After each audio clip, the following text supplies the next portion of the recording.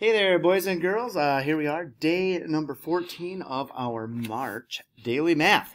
Number one, six baby birds in a nest. Two flew away.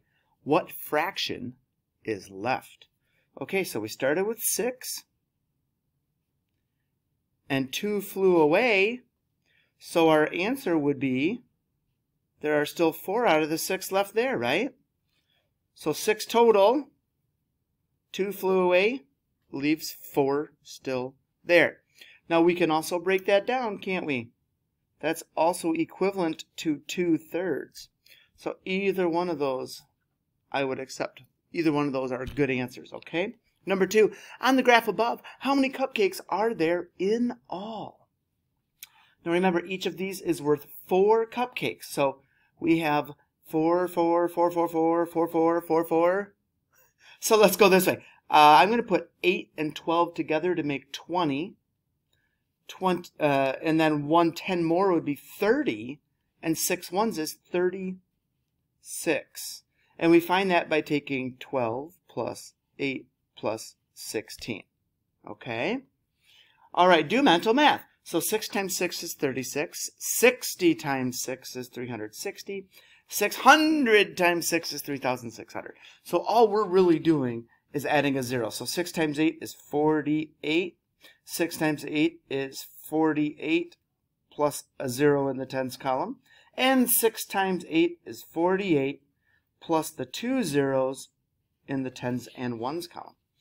Okay, measure the line to the nearest quarter inch. So I'm going to get the quarter incher out here. Always line up on zero first, right? And we're going to go all the way across to right here.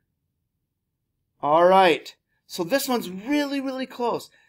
There's four, there's five. So it's somewhere between four to five inches. So you, we know, therefore, that it is a full four inches plus here is a quarter inch, here is a half inch.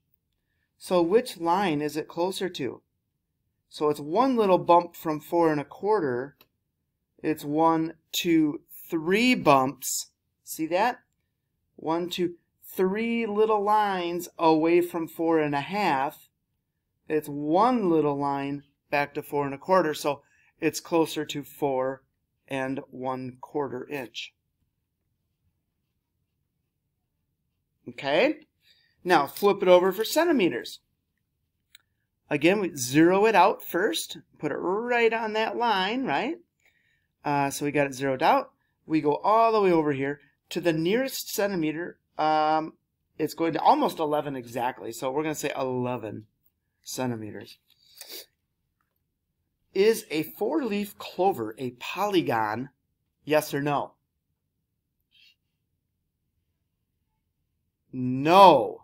But why? Here's an important reason why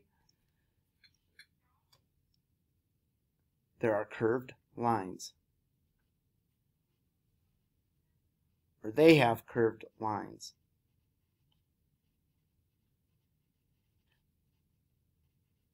Polygons are straight.